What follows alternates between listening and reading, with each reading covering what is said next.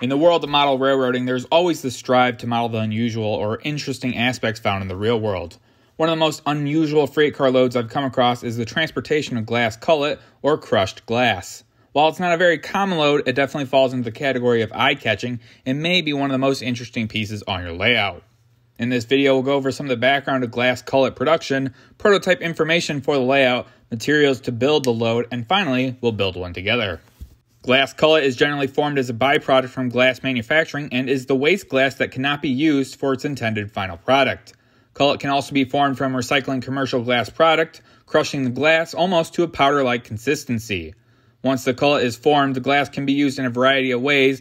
The most obvious answer is recycling the glass into more commercial glass products, but other more obscure applications include construction for new roads, buildings, cars, or smaller applications like fiberglass or insulation materials. While glass recycling is much more prominent in European countries, there still is glass recycling facilities in every major metropolitan area across the United States. The glass recycling facilities are generally on the smaller side and typically owned by one of two companies in the United States. Strategic Materials and Potter Industries are two of the larger national companies that provide large scale glass recycling in several states. For demonstration purposes of this video, a Strategic Materials site in St. Louis, Missouri will be the example industry. The actual glass facilities generally receive their glass product from a variety of sources, such as breweries, garbage recyclers, or really anyone just wanting to recycle their glass products. These shipments are normally received by truck, but may receive larger shipments via rail as well. Glass cullet is a powdery substance and is transported on rail by covered hopper or open top hopper cars as well.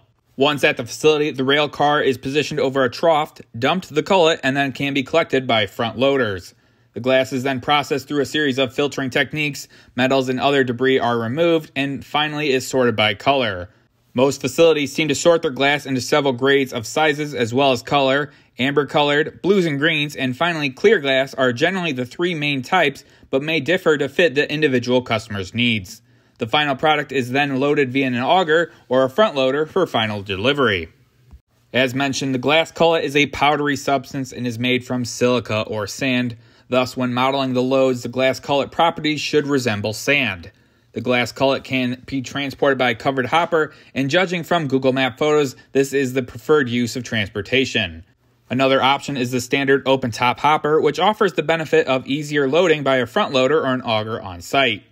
Since sand or silica is on the more dense side, most facilities will opt to load the rail cars to approximately 75 to 80% full to stay under the 100 ton limit.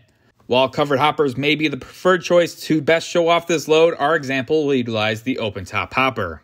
The materials needed to complete this load are relatively straightforward. The first item is the example car that you're going to be building the load for. Looking at several prototype photos, one of the best examples is the 14 rib 100 ton open top hopper, with a good example being the Bowser 100 ton hoppers. There's not a large supply of prototype photos online, and one of the most prominent road names was a private railcar leasing company, Everest Railcar Services, or EAMX. While the example car is not set in stone, the load will look better if built for a specific manufacturer and model. The next required material is sculpt mold. This will be used to create the profile of the glass load. I found most of the pre-made ballast loads were not shaped how I saw the prototype photos, so I elected to build my own. If you plan on building your own load, you will need a few additional materials like styrene, sculpt mold, and a steel weight will be helpful.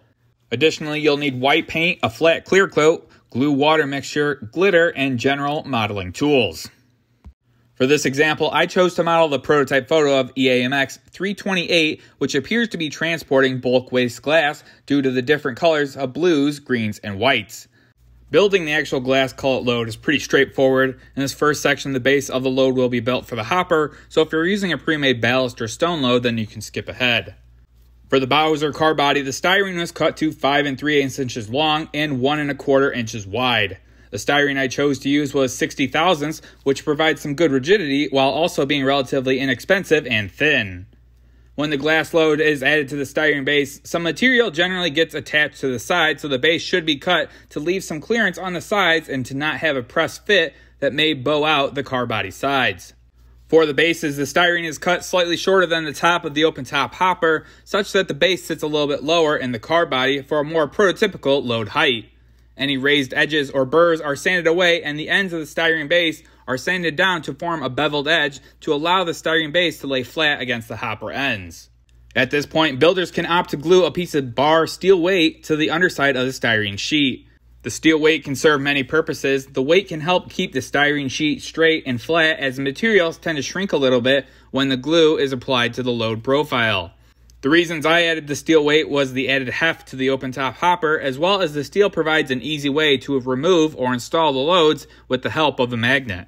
One of the main reasons the pre-made ballast loads are not ideal for this application is the profile of the ballast loads and the steepness do not match the prototype photos of the load. The shape that we will try to replicate is a relatively shallow, uneven load similar to sand loads. Building up the profile can be achieved by several materials, but I found through trial and error that Sculptamold was the easiest to work with and being relatively inexpensive. The other main option was the use of ballast from companies like Woodland Scenics, but was subject to a lot of shrinkage and could not get a smooth finish. A small batch of sculpt mold was made, mixed to the consistency of cottage cheese, and then scooped onto the styrene base. The idea when profiling the mound is to keep the height on the lower side while keeping the overall mound somewhat flat. On the edges, the sculpt mold is smoothed away to meet flushly up with the edges. The working time of Sculptamold is pretty generous and gives the builder about 15 minutes until the sculpt mold is dry. After about 10 minutes of drying, I go back to the sculpt mold and using water, the profile can be worked with my fingers until the surface is smooth. I usually give the sculpt mold about a day to fully dry out and become rock solid. At this point, if there's any imperfections or holes in the profile, it can be sanded away or filled with modeling putty. Once you're happy with the shape of the load and the load is fully cured, then it's time to paint. If you use sculpt mold to build the base, then the base should be relatively white and you can skip this step, but if you used a different material, then it'll require a white finish. The white does a good job of hiding any imperfections in the glass load as well as brightening up and bringing out the color. Blending the glitter mixture is one of the most important parts of this process as it dictates the final color of the product. I ended up only using two of the glitter mixtures, the aqua silver and the white. I did several test examples with gluing and final clear coat to see the best color I wanted to achieve. The first glass load is solely the aqua mixture, and while I think it does represent a good color, it's definitely too bright and almost like the contrast is turned up to 100. The middle load is approximately 5 parts white glitter and 1 part aqua, to me, this seems the best one, a nice color, but not too intense. The last one is 10 parts white, 1 part aqua. In some prototype photos, I think this is the most correct looking load, but honestly, on the layout and under layout lighting, it's just a little too bland, and we're going for an interesting load. I ended up choosing the middle mixture, and as mentioned, the middle load was created with 5 parts white and 1 part aqua. I had done this test several times and knew the ratios I had wanted to achieve, so I just dumped the correct measurements of both colors into the mixing cup, but viewers should add the white first and then slowly blend in the aqua. It's very easy to darken the glitter mixture to the aqua color, but it takes a lot of white to actually dilute it back. You can see here where I'm comparing the glitter mixture to the final glass load, and while they don't exactly match right now, you can expect the final clear coat to brighten up and bring out the little bit of the color when sealing the load, so to be sure to account for that. Preparing the glass load for glitter is pretty simple. A 50-50 Mod Podge water mixture is slowly painted onto the glass load, making sure to completely coat the top and getting all the nooks and crannies as well. Try to avoid the sides and the edges, but this can be sanded off when dry. Any pools of glue should be blotted off with a paper towel. The pools can cause the glitter to kind of bubble up and will make uneven lumps. Onto the fun part, the load is placed into a larger container to catch any overflow of glitter, and the glitter mixture is slowly spooned on. There's no real technique to this except trying to keep the glitter layer relatively thin. Clumping is going to be the real enemy here. Also, when the glitter is on the load, any attempt to move the glitter will ruin the underlayer and it will have to be reapplied. After the glitter is evenly applied to the load, the load is then removed and shaken off to remove any glitter that did not adhere to the glue. You're going to lose a lot of the glitter here, but it's alright. The load usually takes two to three layers of glitter to get a full application. However, if you're happy with this color, you can just go ahead and skip right to the final sealment. After the glue has dried, the glitter load is pretty bare and requires another few layers. Any additional layers can follow the same process as well. The glass load is then coated with another layer of clear coat to help seal in the initial layer.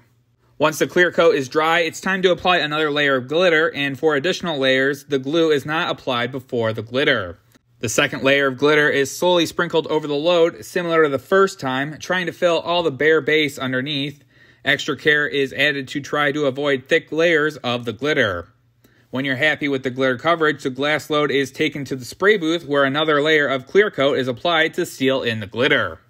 Because the second layer of glitter is not attached to anything, builders should spray the clear coat directly down from the base from a relatively far distance approximately two feet so that the clear coat falls directly onto the glitter, more like a rainfall, and doesn't directly spray away any of the loose glitter. Layer of clear coat is just meant to hold the glitter in place so that we can properly glue the glitter permanently.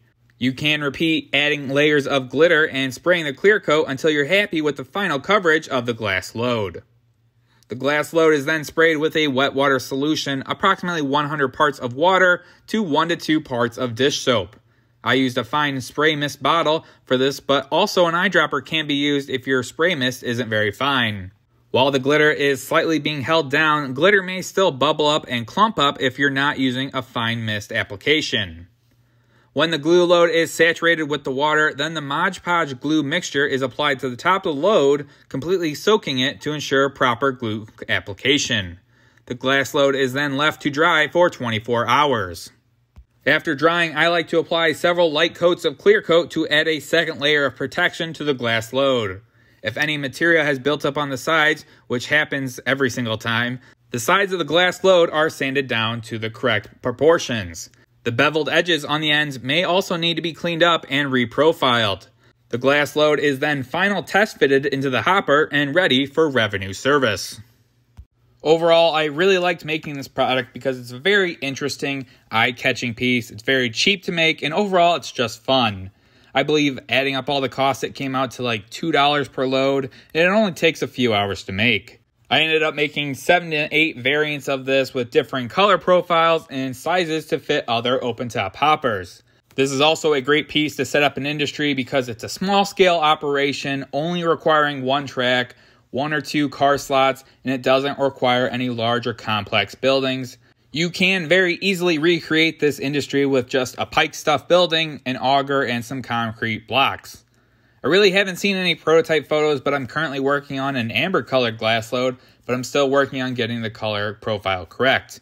But let me know what you guys think about this piece. If you guys are going to be working or adding something similar to your guys' layouts. Comment, rate, subscribe, and we'll see you next time. Thanks for watching.